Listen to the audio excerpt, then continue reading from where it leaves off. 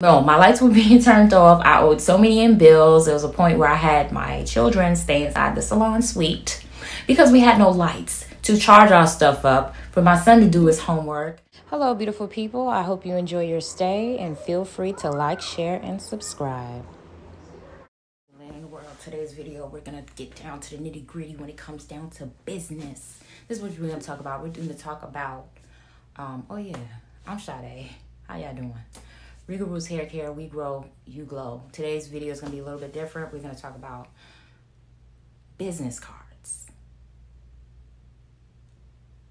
Why you should pass out business cards. And let me just say this. Uh, it may be for everybody, it may not be, but it's really, really good to just get some business cards when it comes down to your business and begin to pass it out. Okay? I will explain the importance and my personal testimony when it comes down to these damn cards. I hope you enjoy. Oh. Yeah, let me tell you my personal story. First of all, my name is Sade. I'm a hairstylist. I've been a hairstylist for about 10 years. Yeah. 10 plus, honestly. But yeah, so this is my first year having my own salon suite and my own business, which I'm so thankful for. And it's been a part of my journey for a long time. But yeah, it's fruition. And it's like, you know, being a hairstylist and a business owner are two different things. Like, oh, you just got a lot. You got to wear a lot of hats. So, anyway, let's talk about marketing, promotion, business cards specifically. So, in the beginning, I, you know, opened up my salon suite. I had to find ways to attract business to my salon suite. And um, I was just trying to avoid, honestly, I'm an introvert. Okay. I'm an introvert. And I've had a hard time, like, with approaching people and passing out cards. I sometimes get in my head and I'm like, okay, what do I say? What do I do? What do I do? What do I say? You know, and you know, being an introvert or someone who is an overthinker, you can talk yourself mentally out of doing a lot of things. Okay. And I think this video is going to be a little bit deep because it was very deep for me. So I tried to avoid, I've been trying to avoid passing out business cards for the longest time. Okay. So what I did in the beginning of Regal Roots Hair Care, this whole thing, I would pay money, you know, for ads. I would pay money for, you know, people to promote me online. Um yeah, so I've wasted a lot of money and I didn't see any any progress at all. This is after a lot of months, many months, many months, many months.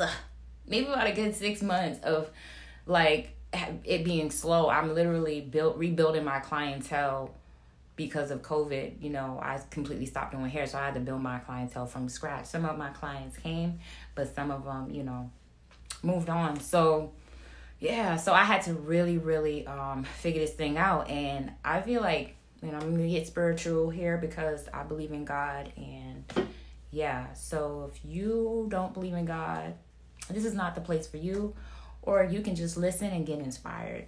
So, yeah, so I feel like when you are, when you have a fear in something, I feel like God will allow you to suffer until you face that fear, right?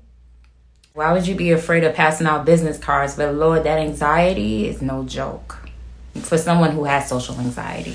So, yeah, so I avoided it for a long time, like passing out business cards was like a fire breathing dragon. Like it was like a huge lion to me. It was, man, Lord, it was huge.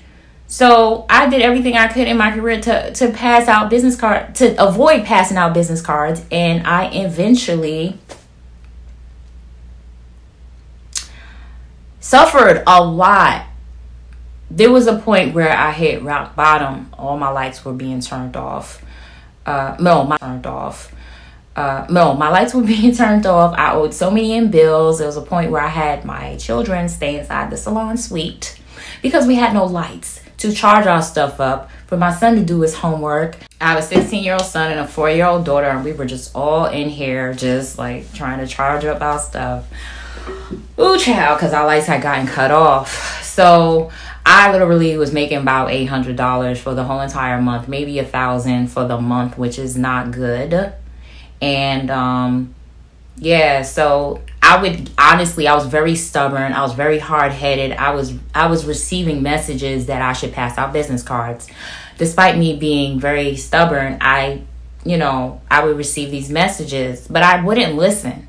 And the more I didn't listen, the more you know, poverty continued uh, set in, the more I would lose, the more I would disappoint my family, the more I would have to ask people for money, and I Ooh, I hate that. Um, my son was disappointed in me and everything. And it's just like, like I said, when you're afraid to do something, I feel like God will put put everything in front of you. And it's really up to you to grab the opportunity, you know, grab the blessing. It'll be right in front of you. If you don't grab it, okay, you're gonna suffer so that's basically what I did. I, I spent a while suffering, and it was like that point where I hit rock bottom. I was like, okay, Sade, what are you gonna do? You know, I took my kids to school, and it was just one day. You know, it's just so funny how things can just pop up to try to save you. You know, it was like a YouTube video I was super inspired by, and this lady was talking about passing out business cards. And um, it was also a very spiritual video as well. Passing out business cards i feel or marketing yourself in general is is like planting seeds you know? But it's also you putting god's work in motion because if you don't move god is not going to move. So i had gotten ideas because i know god knew. God knows how, how scared i was. I had to figure this thing out you know um and i i got uh, an idea you know. Um first of all doordash shout out to doordash and instacart and things like that. I got an idea to do doordash sign up for doordash do doordash and um instacart use that opportunity to pass out your business cards I don't know why I didn't think about this before, but that's what came to me. So let me tell y'all. That was my way because it's easy. All you're doing is giving people their food, and then, like, you know, you say your little thing. If you don't know what to say, if you want to write down what to say and then just keep on saying the same thing to different people, that's fine. But it's like you're just basically giving the people their food uh, say your little spiel. This is my, um, I'm a hairstylist. I do this on the side, whatever. I specialize in this, and I just wanted to give this to you. Hopefully, you know, I can hook you up, whatever. However you decide to say it, okay? Um, yeah, so I started doing that. Uh, let me tell you how bad it was. Like, I advertised on Craigslist for a long time, Facebook for a long time. Things were working out for a little while, but after a while, it was like, all right, Sade, how long are you going to avoid? And this is the voice. Ugh. Spirit guides, whatever. It was saying, how long are you going to avoid facing your fear of passing out these business cards? So, um, yeah, so when I tell you nothing was working, nothing was working all right? Unless i pass out that it's just like pass out the business cards. So anyway moving forward doordash i start door dashing. I get i have my cards okay? And these cards were sitting for months long time okay? The information is probably different. Should have been changed whatever. So i was passing out the cards as i was doing instacart in the supermarket passing out business cards as I would deliver people's food for DoorDash. You know, if I felt like they were in, you know, my target market, I'll just pass it out to them and I'll just act like I gotta go. Okay? So let me tell you the, the power. It is a spiritual thing, okay?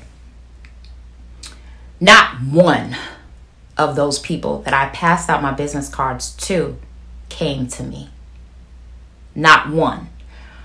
But why Craigslist started working, why Facebook Marketplace started working, why was I receiving all these random phone calls from people, whether they were my old clients or my or brand new clients. I don't know where they found me. I have no idea. But it wasn't the people I physically passed out business cards to. So, within a matter of let's say 3 weeks. Well, let me not even do that when I started passing out my business cards, that same week I became fully booked. Okay. And it's, it, it wasn't even from the people that I passed the business cards out to. So it was literally God saying, like, Um, great, good job. You're doing good. Keep going. And he was sending me clients. I don't know where these people were coming from, but they were flowing. So within, so my first week, I literally made a thousand dollars in that first week. And I credit nobody else but God and all of my spiritual army up there because I told you guys I was making only $100, $800 for the month or a thousand for the month. And that was only to cover my booth rent, you know, or the rent here. Crazy. So I started planting the seeds and then things were just like boom, boom, like confirmation. You need to be conquering your fears, stop playing games, or else you will suffer. That's what happened to me. And it was, it, it just, I just was crying. I had people around me that knew me that was just bugging out because they knew how scared I was. They knew my story. And it's crazy. I went from that and I made $5,000 in one month. One month. My first successful month. Okay. Amazing. So, moral of the story is whatever it is that you're afraid of, we have a tendency to make things way worse than what it really truly is in our minds. When we face that fear, conquer that fear, our spirit grows. Our spirit is happy. You're moving in the right direction, you know? Your self esteem goes up even more. So the more that you pull yourself away from your desires, and it's scary, you have to get uncomfortable to be successful. But the more you pull yourself away from your desires and you let fear take over, the more you're going to beat yourself up. The lower your self esteem is going to be. The more you're going to look at the world around you and you're going to be like, oh my goodness, this person's making progress or this person is doing exactly what I wanted to do. You know, you will get things that remind you like you could have been here if you would have listened. Or, you know, like energy is transferable. So you think you're the only one that's going to get that idea? Somebody else is going to get that idea if you don't act on it. Okay? They're going to get that idea, and you're going to be mad that you didn't jump on it right then and there because of fear. And you're going to beat yourself up. Don't be like me, y'all. Don't be like me, but I'm learning, you know. I can't say it's easy every time, but I know the difference between when I'm doing what I'm supposed to be doing and I'm in alignment and when I'm not doing what I'm supposed to be doing, okay? Creating that resistance. I don't know if y'all know about resistance but creating that resistance and allowing myself to be upset, mad, suffer, anger, blah, blah, blah, guilt, shame, all those things come into play when you are not, when you're like not conquering your fears. And it's not as bad as we think. Just do it. Just just one day, if you gotta get a little wine, pass out some cards, drink a little bit of wine or something to or or say a prayer, you know, say some do something to to relax you so that if you have the same fear as I do, or if, if, there's anything that you're afraid to do, like get in front of the camera, whatever it is, just do something to relax you. But you will be proud of yourself once you do it. Once you do it. Yeah it's all in our minds, you know. Oh, anyway, I hope you enjoyed this video. That's it. That's all I got. I know I'll have more soon. If you have any questions, post them in the comments. I think one of the things is like, how did I gain that fear? And I think it was from hitting rock bottom. You know, you don't really want to hit rock bottom. You don't want to.